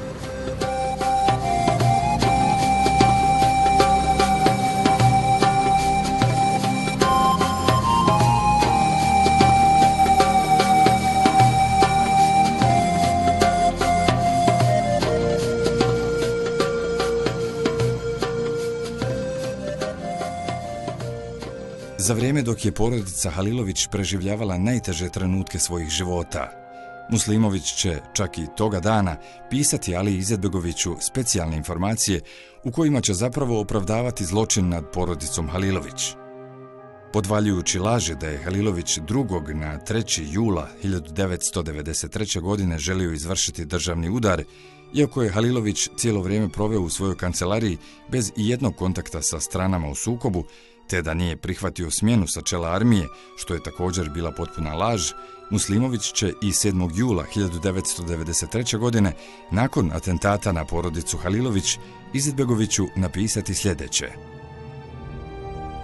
U drugim jedinicama borci ovaj incident karakterišu kao nedisciplinu komandanta 10. brdske brigade i zamjenika komandanta 9. motorizovane brigade, a isti se vezuje i za Sefera Halilovića i njegovo nezadovoljstvo kadrovskim promjenama vrhovne komande. Ima komentara među borcima 10. brdske brigade da su ovo smislili Sefer i Delalić, a da je Caco samo uvučen u igru. Muslimović je na ovaj način prethodno lažno predstavljajući Delalića kao Halilovićevog sestrića, sav haos u dijelu opkoljenog Sarajeva pripisao upravo Haliloviću, što je bio osnov da se na Halilovića i njegovu porodicu izvrši atentat. Međutim, kada je Muslimović saznao da je Halilović preživio njemu namijenjen atentat, tada će njegov operativac napisati i dodatnu informaciju u kojoj će ustvrditi kako Delalić Ramiz javno priča da je ovo samo bila proba, a da pravi haos tek dolazi što je bila najava nastavka progona Halilovića na dan kada je Halilović ostao bez još dva člana svoje porodice, zahvaljujući režimskoj vojnoj i policijskoj službi bezbjednosti.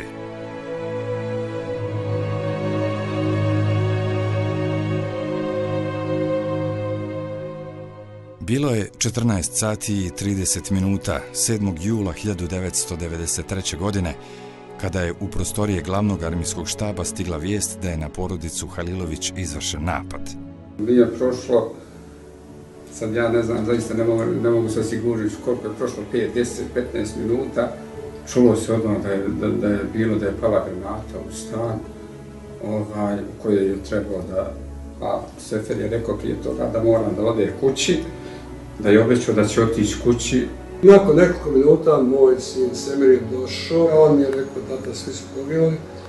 Ovaj, granata je pogodila naš stan i svi su poginuli. Naravno, plako je i ostali smo kada sami. Kao i kod svake tragedije, tako je i kod ove istovremeno nastao i haos i tajac.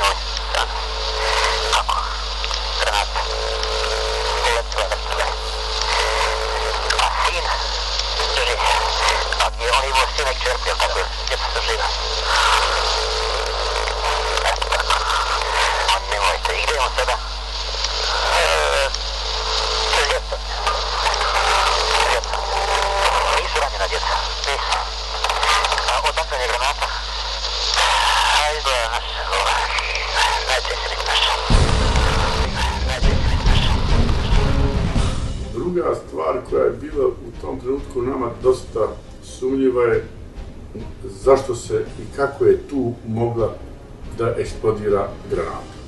Kada sam kao član kabineta gospodina Halilovića razgovarao o traženju lokacije gdje bi okoljenom Sarajevu njegova porodica bila najbezbjednija, bez prečestih seljakanja, što smo svi radili, onda su vrlo iskusni pukovnici artiljerije izabrali zgradu u podnožju brda i stranu te zgrade gdje prema njihovim proračunima radi se o vrlo školovanim oficirima te specijalke, četnička granata, VBR ili bilo koja topovska granata ne bi trebala da padne.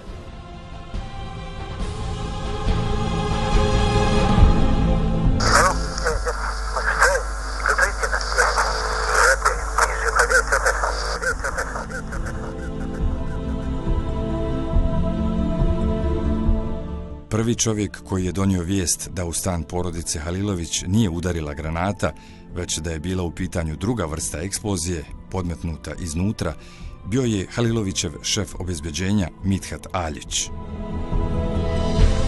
Izašavši na lice mjesta, ustvrdio je da mu je odmah sve bilo jasno. Gotovo cijeli glavni armijski štab brujao je o tomu da je na Halilovića pokušan atentat iznutra, ali Halilović u to nije mogao da povjeruje, niti je od veličine tragedije imao kad da te tvrdnje istražuje.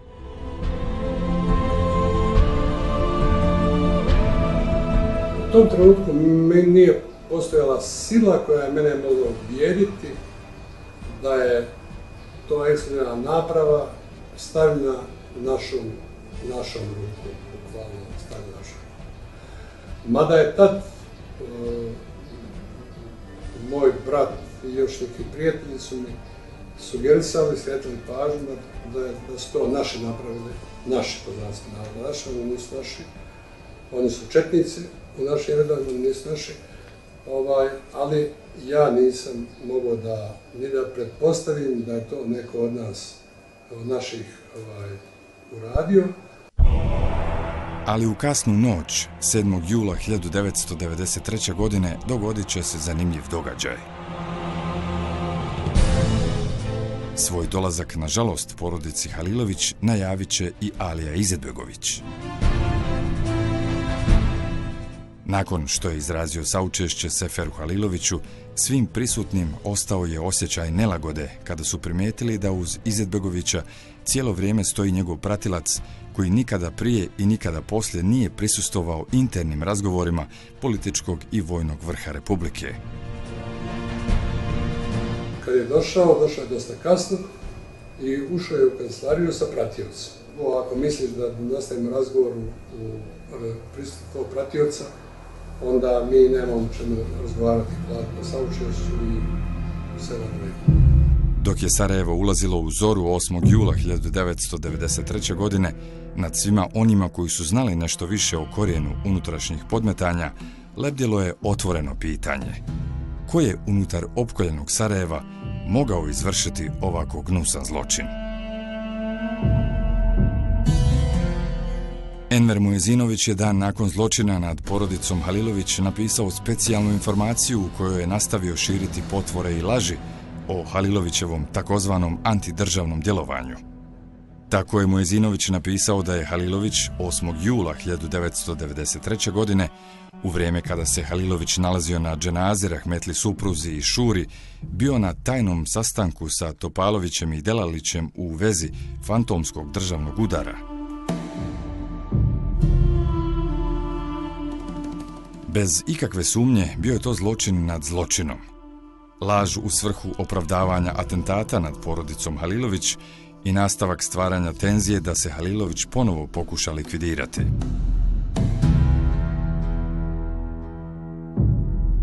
Ne, smo sumnjali, nismo znali. To ste osjetili ste atmosferu u zraku, osjetili ste da se lanac zavjere steže oko vas i da su tada državne, danas paradržavne strukture jednostavno odlučile da vas eliminišu. To su bile ona udbaška pitanja, eto, oni to sve znaju, ja sam ja tu, znaju oni da su meni i djeca tu, da stanujem i da, e, da vidi da, su rat, da je ratno vrijeme, da se svašta dešava.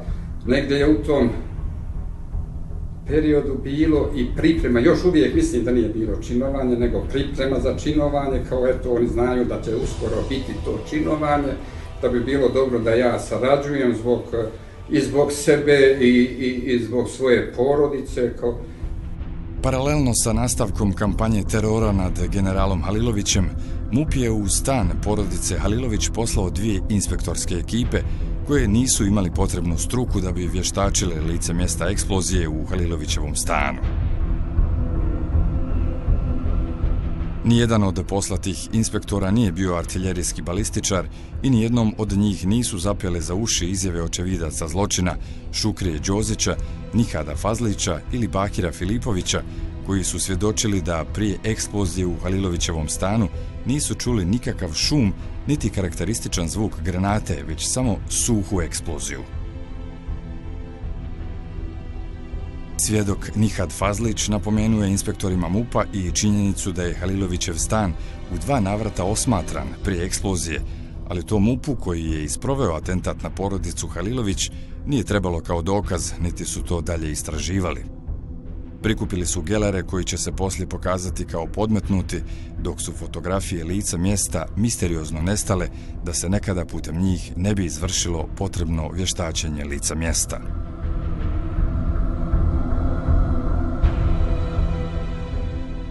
Prva MUPova ekipa napisala je da je takozvana četnička granata došla iz pravca Vogošće. Druga ekipa ustvrdit će da je granata doletjela iz pravca Ahatovića, dok će treći MUPov inspektor napisati da je granata u Halilovićev stan lansirana sa prostora Paljeva. Tri MUPove ekipe, tri različita pravca ispaljenja granate, dva različita kalibra i različiti uglovi upadanja granate imali su za cilj samo jedno – onemogućiti one koji traže istinu da, principom zametanja tragova, ikada do nje i dođu. Izetbegović će vjerovatno nakon što su ga pripadnici njegove tajne službe obavijestili o dešavanjima u stanu porodice Halilović i Halilovićevim sumnjama koje su iz dana u dan rasle, pozvati Sefera Halilovića da porazgovaraju o eksploziji u Halilovićevom porodičnom stanu. I tada mi je rekao jednu rečenicu, čujem, kaže, da okolo pričaš, da je ta grada na tvojoj da smo je mi stavila, ne četničke grada. Ja sam rekao predsjedniče, do dana današnjeg sam bio uvjeren da je to četnička granata, a sad ste me vi uvjerili da to nije četnička granata i nažalost ja nisam imao snage da odem na mjesto zločina, a sad će otići do da vam kažem čija granata. Ja sam došao kao iskusan arhijerijski oficir po tragu, po svaka granata na mjestu eksplozije ostaje svoj rukopis.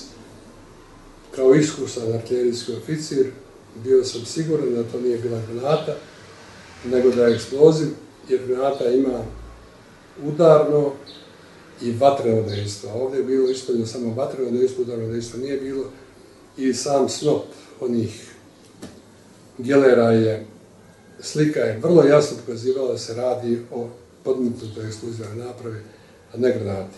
Kad se radi, da mu to kažem, on više nije bio tu. Nakon Halilovića, Izebegović će u vezi iste teme pozvati i Delića na razgovor, nakon čega će Delić telefonom pozvati Sefera Halilovića. Iako je Delić u razgovoru sa Halilovićem kazao da ni sam ne zna koga poslati u Halilovićev stan na vještačenje, jer artiljerijskog stručnjaka balistike nema, ipak će svojom naredbom u stan porodice Halilović poslati potpunog artiljerijskog lajka, političkog radnika iz JNA Vehbiju Karića. Bio je to nastavak podvaljivanja porodici Halilović. Iako po struci nije imao nikakve dodirne tačke sa artiljerijskom balistikom, Iako je decenijema bio miljenik Kosa koji ga je držao na portparolskim i političkim dužnostima u Sarajevu, iako je u armiju Republike Bosne i Hercegovine pristigao tek krajem aprila 1992. godine, prethodno izjavljujući da se srbizirana JNA ukopava oko Sarajeva radi takozvanih vježbi, Karića će na lice mjesta u Halilovićev stan poslati lično Rasim Delić, vjerovatno pod pritiskom Fikreta Muslimovića, koji je na Delića imao presudan, pokazat će se koban uticaj. Iako nestručan za posao na koji je poslan, Karić neće prezati da u svom izvještaju koji je rađen bez jednog mjernog instrumenta, bez fotografisanja lica mjesta, bez vještačenja fragmenata i njihovog rasipanja, te ispisan na svega pola lista papira, napiše krupnu neistinu kako je 7. jula 1993. godine Halilovićev stan gađan sa tri četničke granate. Hodajući ovdje u jednom momentu, ovako ovdje, da ne slažem, u metar dva, hodajući, ovako sam bio okrenut, ja sam primijetio plamene stana i detonacija jaka. Majko moja, ovdje nije više padalo ništa. Ne, ne. Po Kariću, prva četnička granata je prebacila Halilovićev stan. Druga ga je podbacila, dok ga je tek treća pogodila. Pa nije, sigurno nije, to ću vam posvjedočiti svako ko je bio e, na Ciglanama od 10.000 ljudi. Ja sam živio ulica, tada se zvala da je Janle Osmanbega broj 10, stan 97 u kom je sada živi je Velja. Sa toga terasije sam vidio eksploziju, mislio sam da se radio eksploziju plinu. Međutim, u poslepodnevnim časov sam saznao da je to stan Sefra Mogilovića, komandanta oružanih snaga Bosne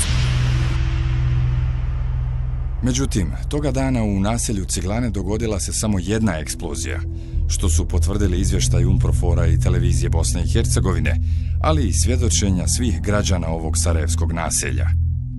Karić će pasti na prvoj stepenici istine.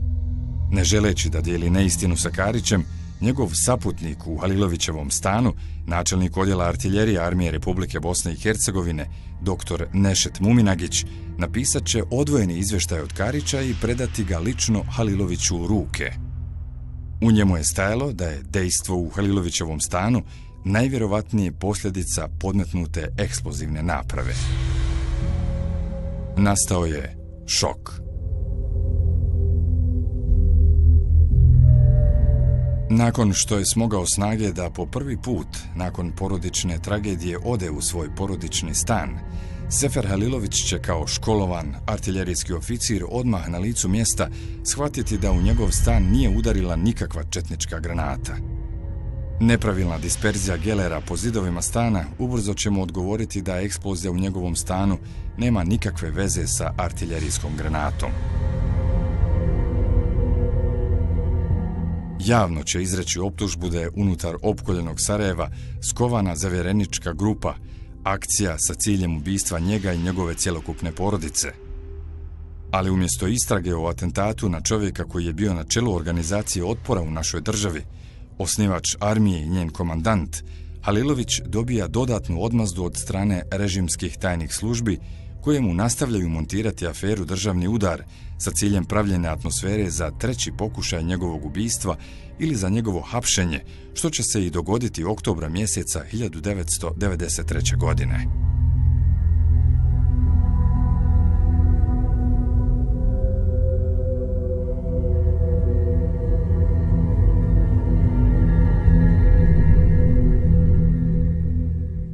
Dvadeset oktobra je bila režirana uh, e, kriza u Sarajevu, Viktor Muslimoviću i grupi oficira Kosa je trebala takva jedna kriza da bi se pričali sa mnom. Haliloviću je već tada bilo jasno ko bi otprilike mogao stajati iza zavjereničke skupine koja je osmislila i provela atentat na njega i njegovu porodicu. U zraku je visilo pitanje ko je od izvršilaca izveo ovakav krvavi čin neviđenog državnog terorizma i prvorazredno političko ubijstvo? Odgovor je stigao nekoliko godina poslije.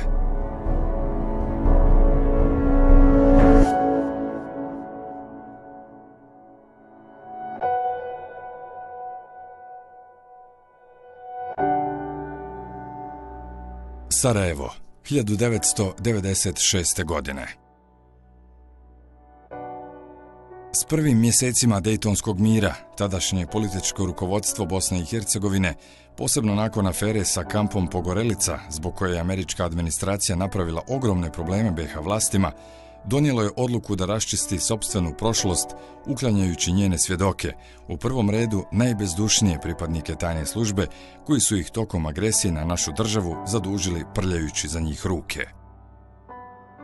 Izetbegović je odlučio da smijeni svog prvog, do tada najodanijeg tajnog policajca Bakira Alispahića i na njegovo mjesto postavi pripadnika specijalne policije Kemala Ademovića.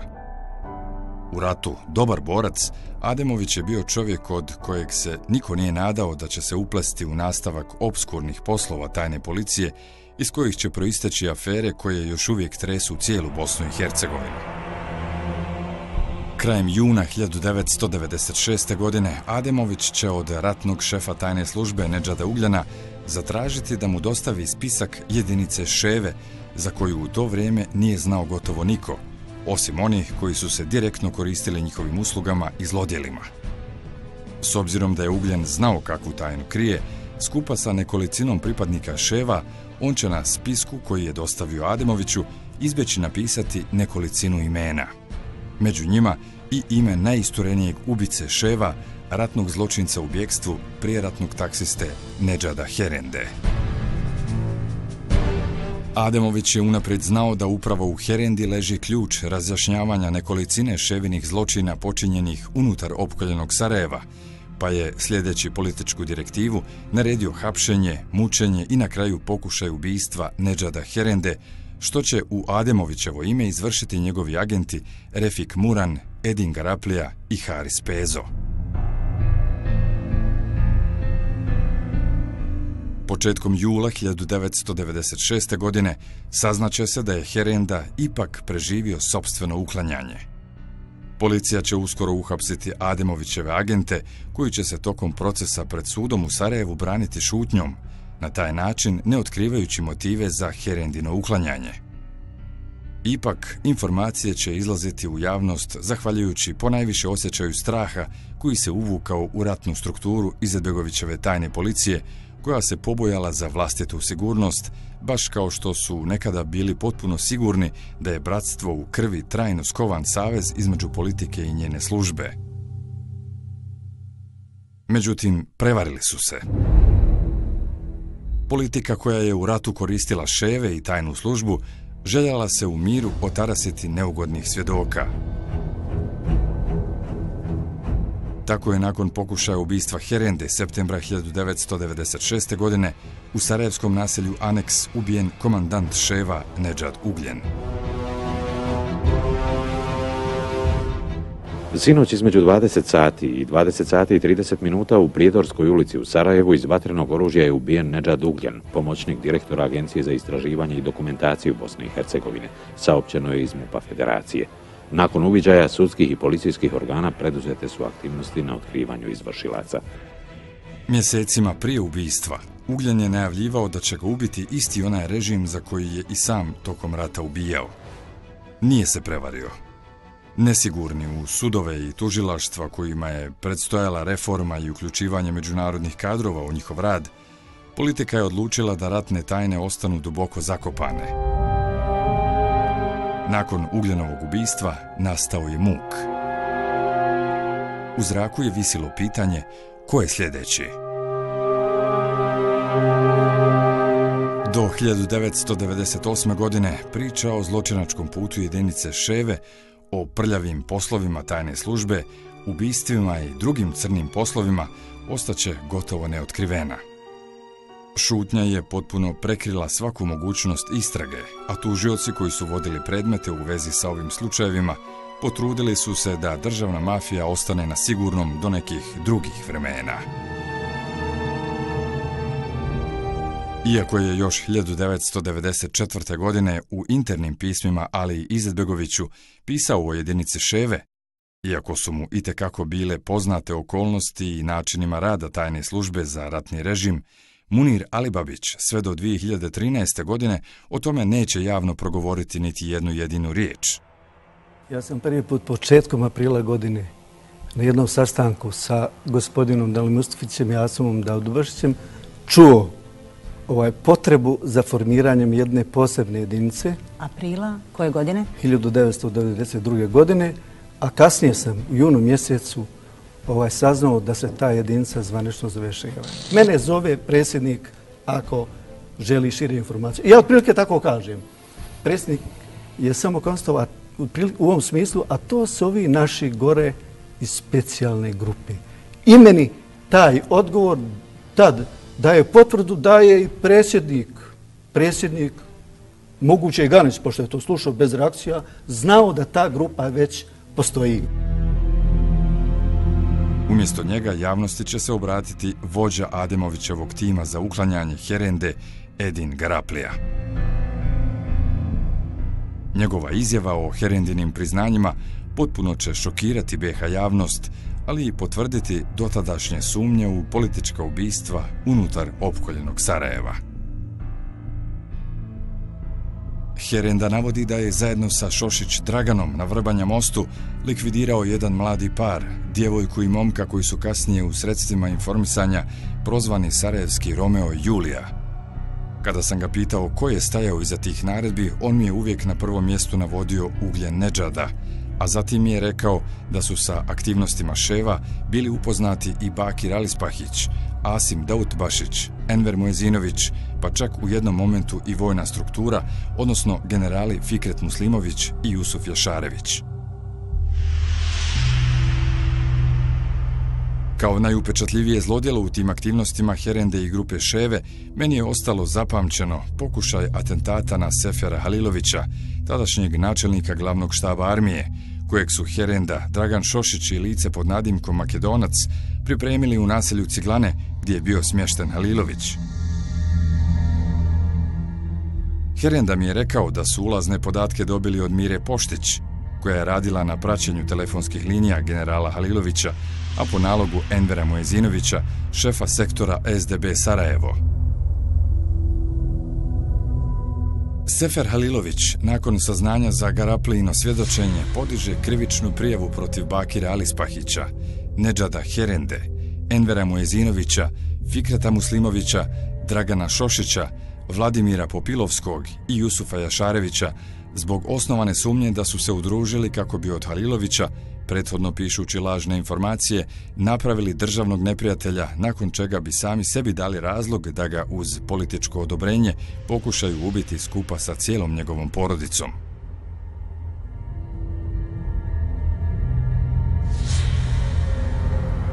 Kasnije, kada sam se počeo baviti e, pravnim poslovima i istraživanjem, e, doći ću do e, jako puno vrsta dokumentata koji se povezuju direktno ili indirektno sa atentatom na a, našu porodicu i tada ću shvatiti količinu a, količinu namještaljke koju je služba državne bezbjednosti a, učinila prema našoj porodici. Ali tužilaštvo kantona Sarajevo tokom svoje 15-godišnje takozvane istrage neće saslušati nikoga od mnogobrojnih svjedoka i očevidaca – niti će narediti stručno artiljerijsko vještačenje.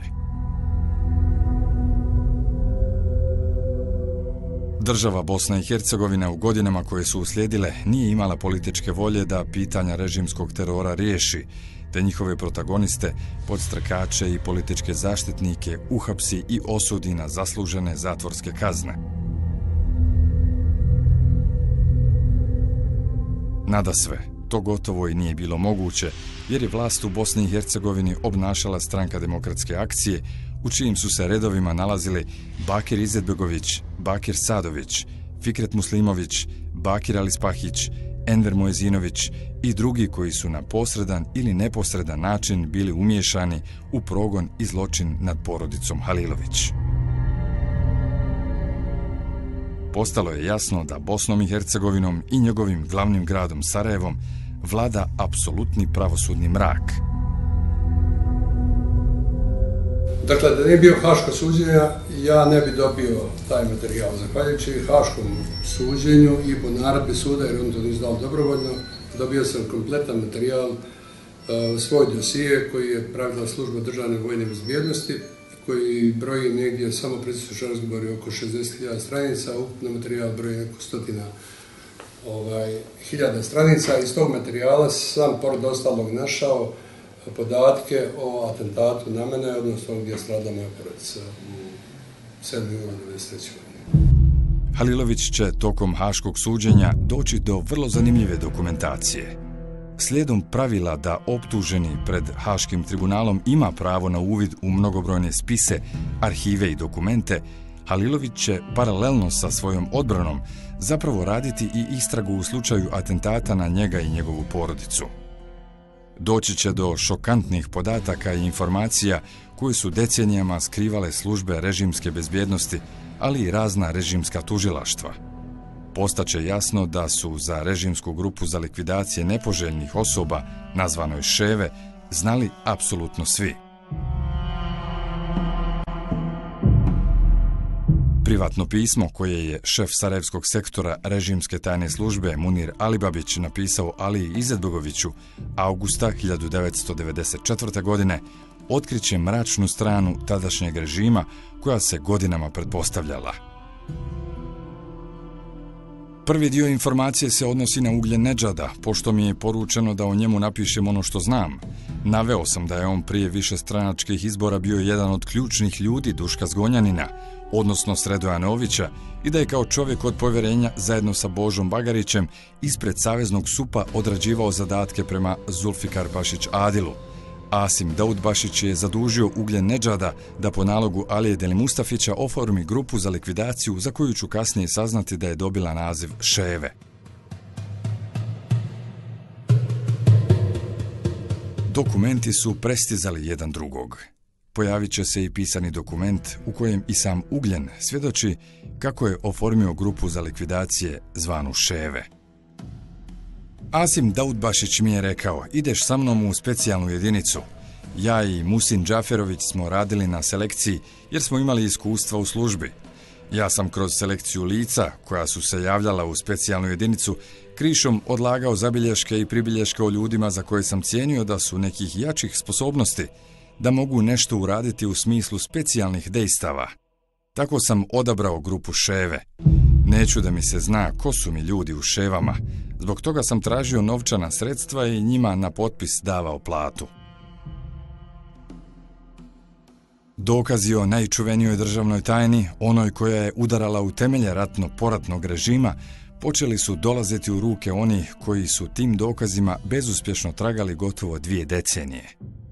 Pojavit će se i spisak jedinice Ševe, koja je pokazat će se brojala 19 ljudi.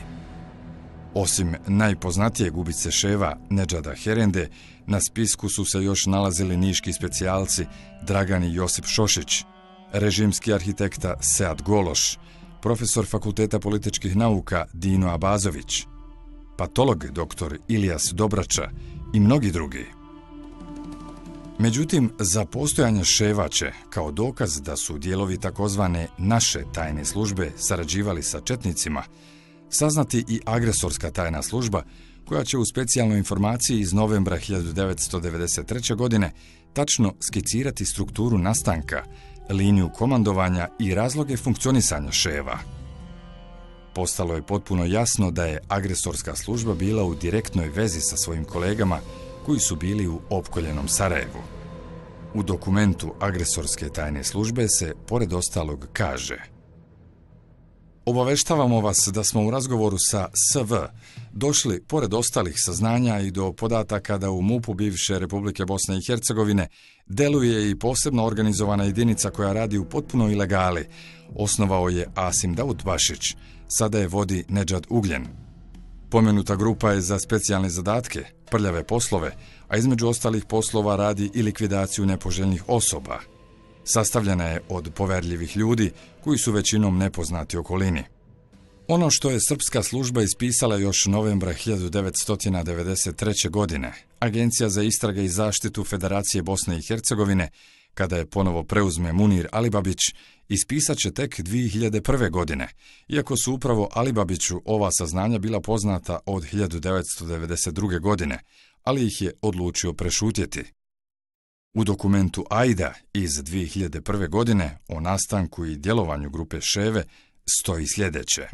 Pojačane aktivnosti Ševa tokom 93. na unutrašnjem planu dovode se u vezu sa političkim aktivnostima najvišeg državnog vrha oko budućeg ustroja Bosne i Hercegovine i eliminisanjem iz političkog i javnog života probosanski orijentisanih kadrova i političkih neistomišljenika koji su se suprotstavljali podjeli Bosne i Hercegovine.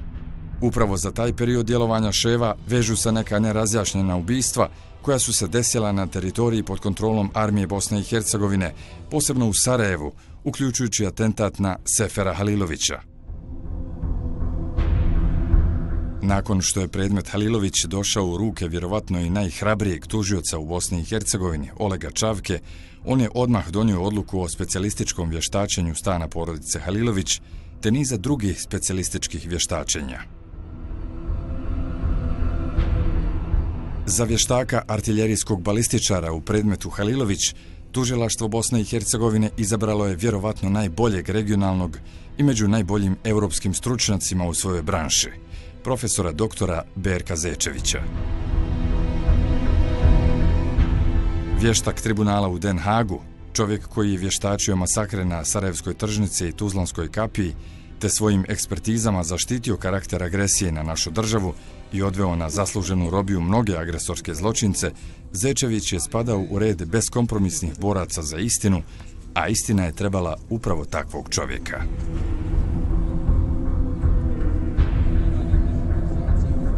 Dana 18. oktobra 2013. godine, nakon duže od dvije decenije osporavanja prava na istinu, Ekipa profesora doktora Berka Zečevića, skupa sa pripadnicima tužilaštva Bosne i Hercegovine i Agencije za istrage i zaštitu, opremljeni najsavremenijom opremom, odpočet će istragu i vještačenje u stanu porodice Halilović. Naknadno pronađene fotografije lica mjesta stana porodice Halilović bit će potpuno potvrđene rengenskim pregledom zidova. Disperzija gelera na uglavnom lijevu stranu stana bit će sam po sebi dovoljan dokaz da u stanu porodice Halilović nije udarila nikakva četnička granata, jer prilikom eksplozije granate ona uvijek ostavlja gelerski otisak na sve četiri strane koji je nemoguće imitirati. U balkonskim zidovima stana porodice Halilović bit će pronađen čak i dio neeksplodiranog eksploziva TNT, koji pripadu granate nikada ne preživi u fizičkom obliku, te je i ovo bio dodatan dokaz koji je potvrdio sumnje o postavljenoj bombi u stanu porodice Halilović. Tim profesora Zečevića pronaći će i nekoliko gelera koji su preživjeli uklanjanja od strane režimske tajne službe, te će se hemijskom analizom utvrditi da ova dva gelera ne potiču od iste granate. Postaće potpuno jasno da je režimska tajna služba na nekoliko ploča eksploziva TNT omotala stotinjak gelera od različitih granata koje su prethodno eksplodirale u opkoljenom Sarajevu, te takvu vrstu priručne bombe postavila na terasu porodice Halilović sa ciljem da ubiju cijelu porodicu sa generalom Halilovićem na čelu. U međuvremenu pojavit će se i svjedok koji je Nedžada Herendu vidio kako stoji ispod zgrade stana porodice Halilović trenutak prije aktiviranja eksplozije u njihovom stanu. Koliko je režim vodio računa o prekrivanju svih dokaza o atentatu na porodicu Halilović, govori i činjenica da saradnik ševa, patolog Ilijas Dobrača, nije uradio patološki nalaz nad ubijenim članovima porodice Halilović, niti je u svom izvještaju, kako je to obavezno zakonom, opisao njihove rane. Tek je napisao da je njihova smrt nastupila nasilno i na taj način direktno učestvovao u čitavoj zavjeri koja je išla iz Izetbegovićevog kabineta, preko vojne i policijske tajne službe, pa sve do ševa i patologa Dobrače. Ipak, piramidalnim efektom, u godinama koje su uslijedile, javljaće se novi ljudi i pronalaziti novi dokazi o atentatu na porodicu Halilović, koji će marta 2014. godine biti sublimirani u krajnji zaključak koji je vještak, ekspert, profesor dr. Berko Zečević saopštio medijima. U stan porodice generala Sefera Halilovića nije udarila četnička granata, već se radi o dejstvu podmetnute eksplozivne naprave. bombe. Nastao je potpuni muk u bosansko-hercegovačkoj javnosti. Osim nekoliko privatnih, svi režimski mediji prešutjeli su ovu strašnu činjenicu koja je udarila u temelje opstanka državne mafije, koja u Bosni i Hercegovini i dalje kontroliše veliki dio vlasti, medija i kapitala. Nakon više od 20 godina podmetanja i onemogućavanja, istina o atentatu na porodicu Helilović i na prvog komandanta armije Republike Bosne i Hercegovine, generala Sefera Halilovića, napokon je izašla na vidjelo.